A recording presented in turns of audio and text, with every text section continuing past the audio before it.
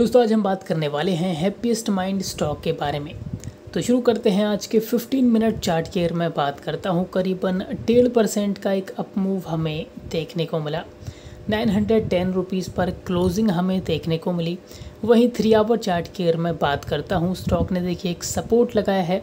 Eight eight eight यानी कि triple eight का एक सपोर्ट यहाँ पर लग चुका है। और ऊपर जाने की कोशिश स्टॉक कर रहा है। तो आप चाहें तो इस सपोर्ट का पूरा ध्यान रख सकते हैं। देखिए अगर यही तेज़ी कंटिन्यू रहती है तो आने वाले ट्रेडिंग सेशंस में जो टारगेट स्टॉक अचीव करेगा वो है 920, 930 यहाँ तक कि 940 रुपीज़ तक के टारगेट भी हैप्पीस्ट माइंड अचीव कर सकता है। तो अगर आपके पोर्टफोलियो में हैप्पीस्ट माइंड शामिल है कंटिन्यू होल्ड करें। यहाँ पर फ्रेश बाइंग को अभी अवॉइड करें।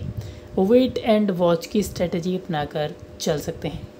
जैसे ही बाइंग का मौका बनेगा, हम एक वीडियो ज़रूर बनाएँगे। तो वीडियो देखने के लिए आपका बहुत बहुत धन्यवाद।